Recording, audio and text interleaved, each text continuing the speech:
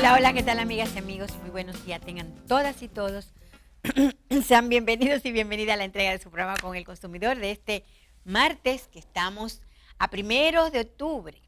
Ya ustedes saben, el, el mes 10, ya para que se vaya el año, qué pronto. Nada, aquí estoy como cada martes. Eh, hoy es el 30 aniversario del programa con el consumidor. Hoy, primero de octubre, 30 años como si fuera nada, como si fuera poco.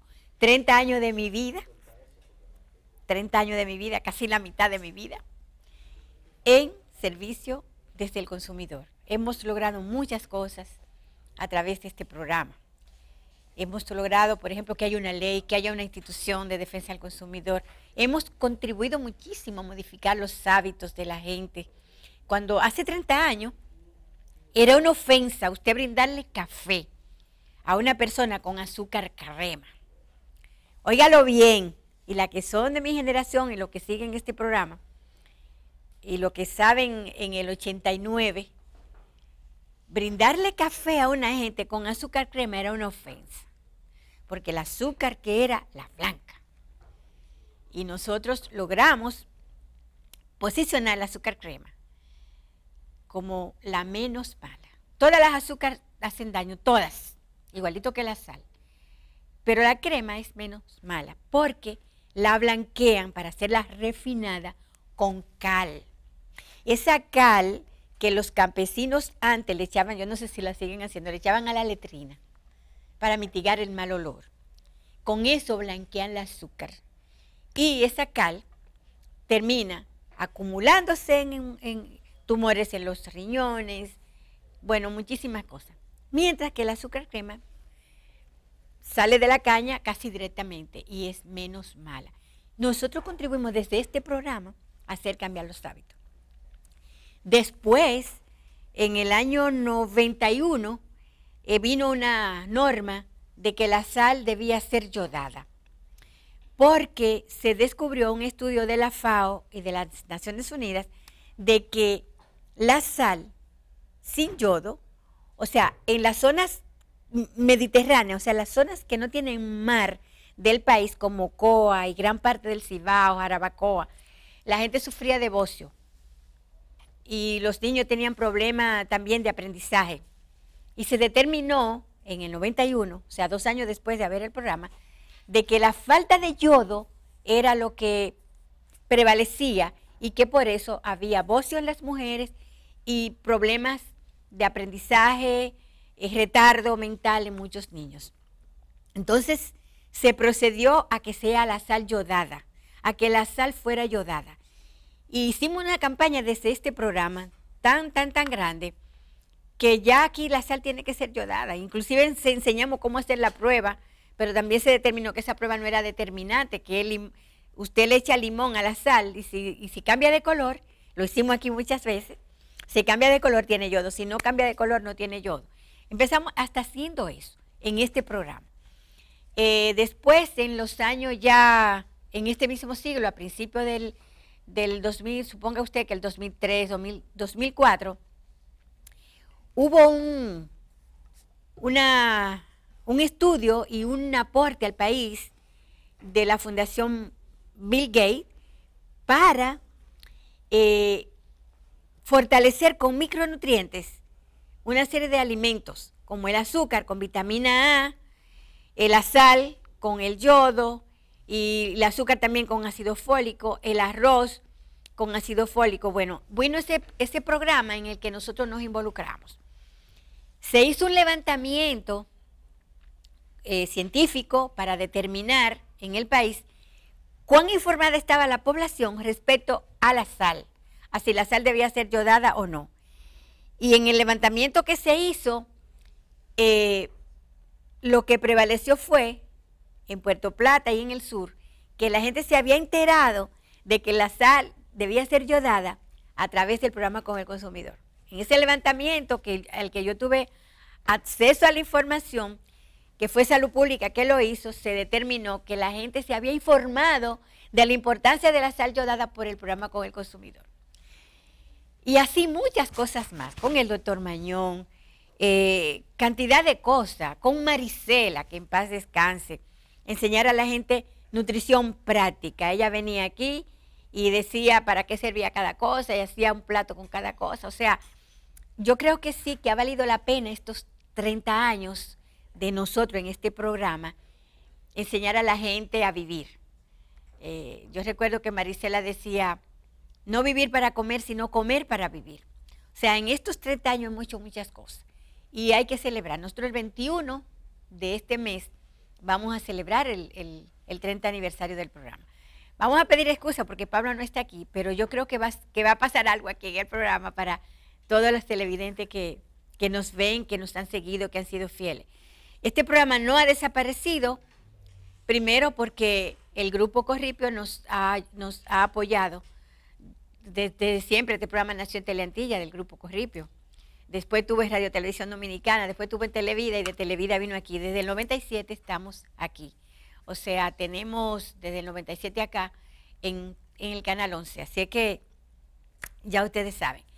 30 eh, años se hace mucha cosa. Hay mucha gente que tiene 15, que tiene 20, que tiene 10, que no sabía de este programa. Pues más nada, este programa lo veía su mamá, su abuela, y estamos vivos para seguir aportando más. Yo eh, dejé a Pablo el programa.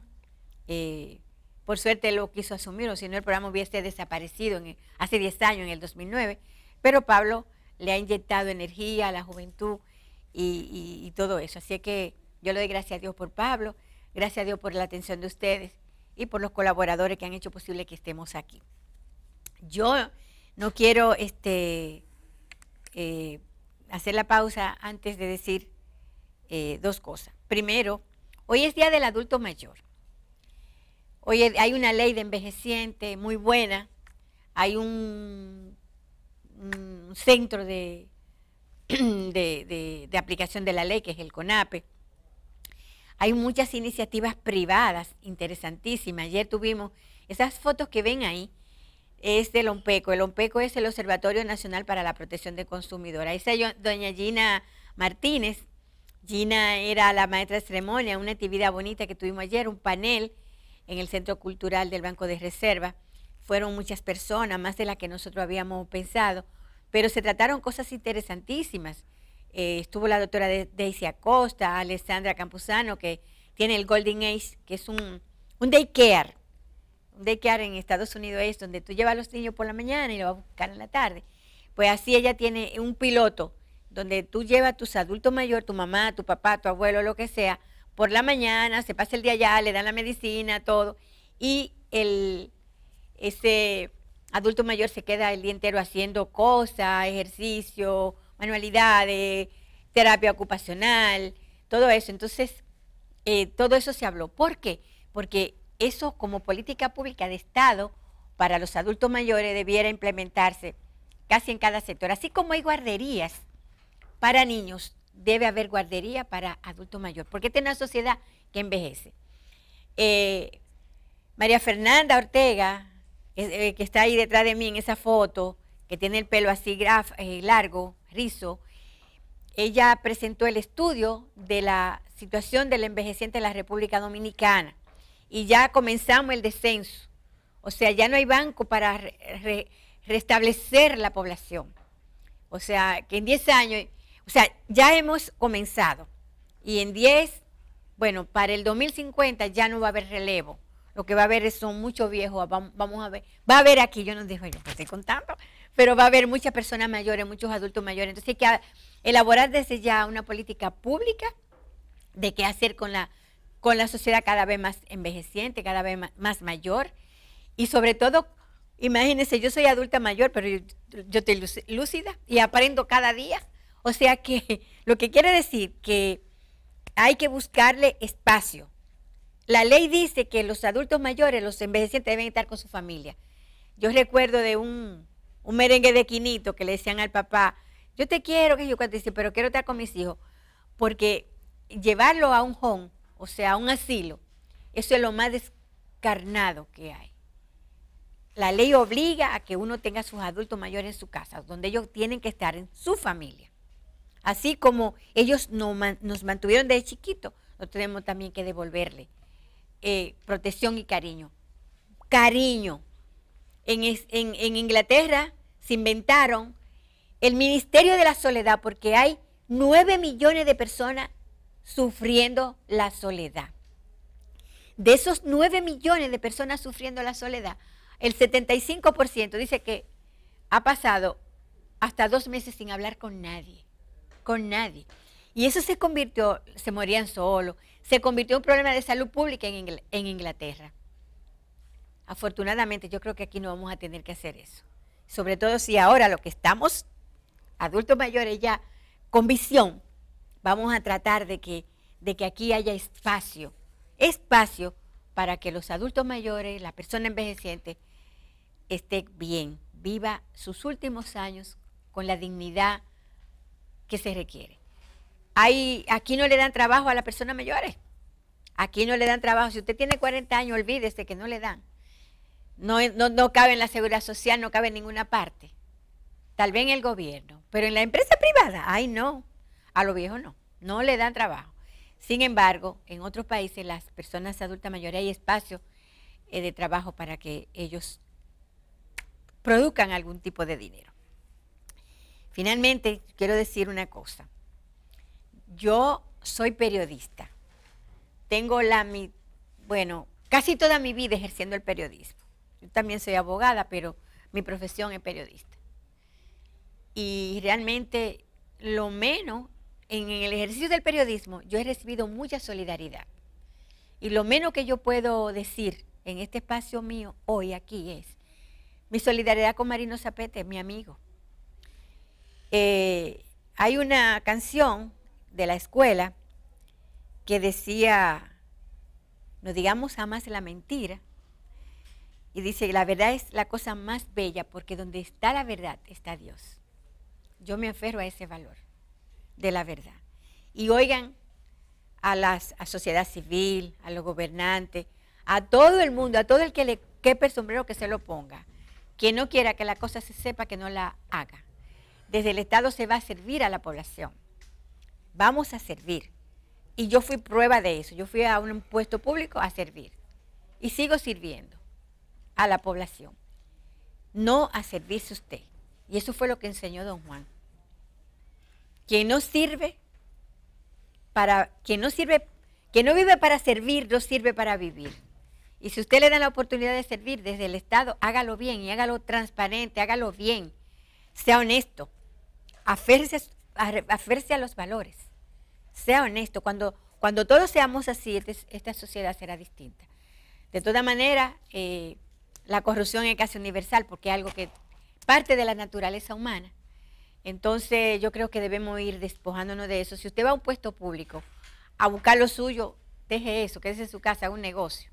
Si usted tiene, necesita 50 millones de pesos para ser diputado o senador, con esos 50 millones hago un, hago un negocio y le va a ir mejor que meterse a política y después yo tengo que recuperar mi dinero y de dónde?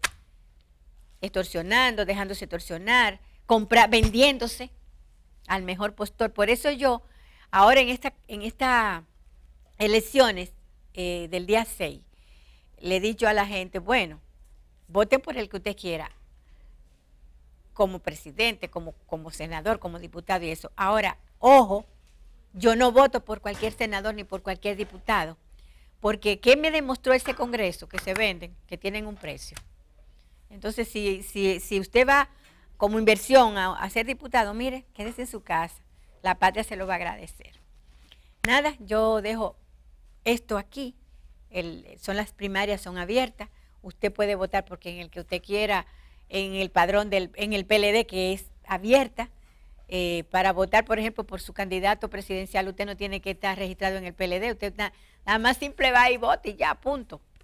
Porque eso es lo que ellos acordaron en el PLD, patrón abierto, el PRM, patrón cerrado, todos los, los PRMistas van a votar cerrado su listado de...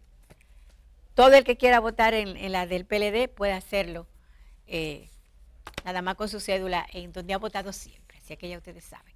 Yo lo dejo aquí, nos vemos el martes con otro comentario. Y nada, yo estoy esperando a mi invitada que hoy, que tiene Virtudes Berroa, ya llegó.